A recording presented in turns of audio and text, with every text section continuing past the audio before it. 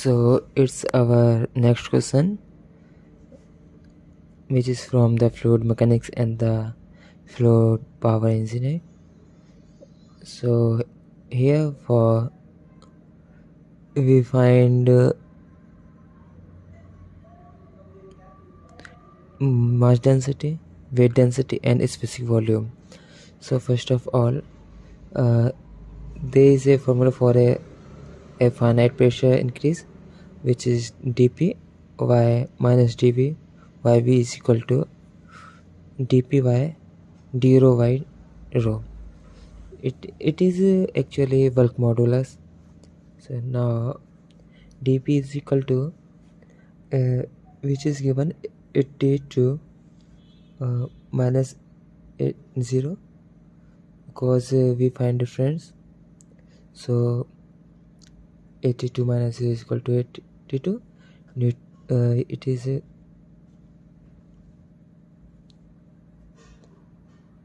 now we convert it into newton per meter square. So for newton we multiply 10 to the power 6 for convert so mm, bulk modulus is given which is 2350 megapascal so for convert megapascal into newton per meter square we multiply it by 10 to the power 6 and uh, increase in density is equal to d rho y rho dp yk so here we put the value which is given so a rho is equal to so we put these values from the from above. So now the outcome is 35.76 kg per meter cube. So now they were at a depth of uh, 8 kilometer from the surface uh, now we find mass density. Okay. So from the above uh, mass density is equal to means uh, we find rho.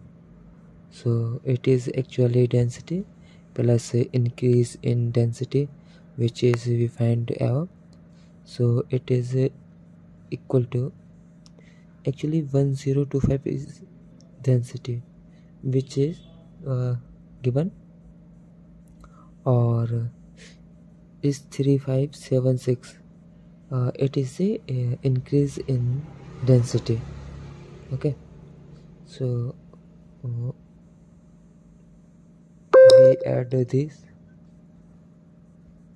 And after adding it is comes 1060.76 kilogram per meter cube okay so after that we find mass uh, weight density actually it is weight density is specific weight so it is uh, uh, specific weight so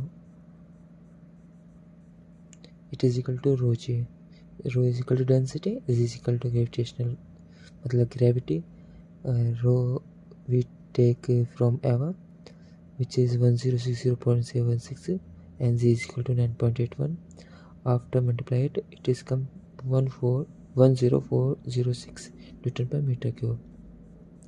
Now we find a specific volume okay? So we know that v is equal to 1 by rho. So rho we also find it. So it is 1060.76 so after dividing 1 by so it's come 0 0.000943 meter cube per kilogram. It is the final answer. So thank you. Play and subscribe my channel